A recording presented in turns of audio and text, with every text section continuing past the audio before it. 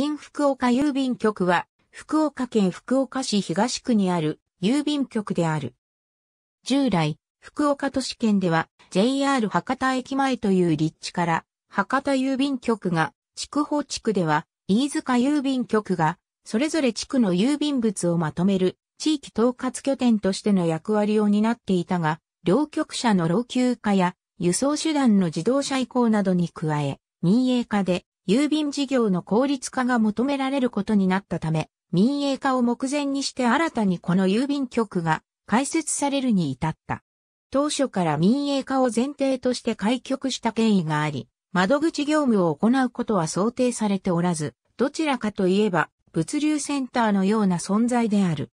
しかし、開局に際しては、福岡市内の一部及び、長崎県の壱岐市、対馬市の周辺郵便局から差し立て業務が移された。なお、民営化後はこれらの郵便事業拠点は、新福岡支店の周辺センターとなっていた。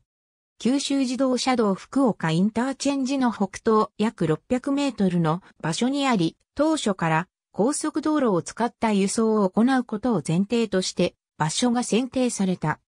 2007年の郵政民営化の際に郵便事業株式会社の新福岡支店となったが、2012年に郵便事業株式会社と郵便局株式会社の統合により日本郵便株式会社が発足したことに伴い、再び新福岡郵便局となった。当初、無臭廃郵便局として開局したが、郵便区番号811が与えられている。また2017年度に業務効率化のため博多北局から春日市と大野城市、さらに博多北局が配達に関わる福岡市東区の海側以西の地域における郵便物の収集業務も移管されることとなり、2016年12月、業務委託のための入札実施が公示された。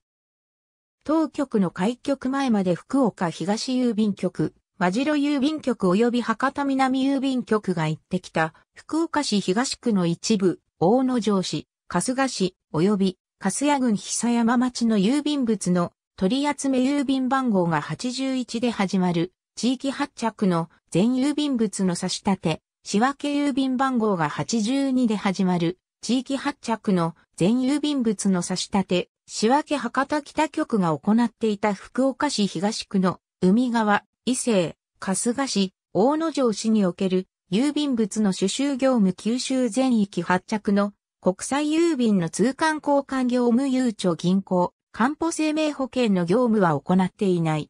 なお、当局に最も近い場所にある通常の窓口を持つ郵便局は松浦大館郵便局である。博多郵便局旧受け持ち地域の全郵便物飯塚郵便局旧受け持ち地域の全郵便物郵便番号 81X、4X、82X、4X のエリアの内当局所管区域について記す。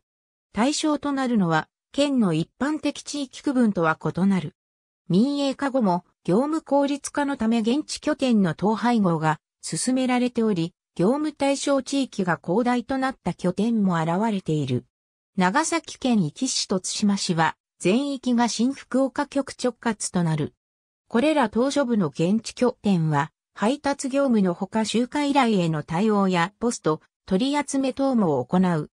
九州自動車道福岡インターチェンジそばの工業団地内に立地し、周囲には運送業者のトラック営業所や倉庫、工場が点在する。境を接する久山町が近年まで開発に消極的だったため、高度な土地利用はなされていない。ありがとうございます。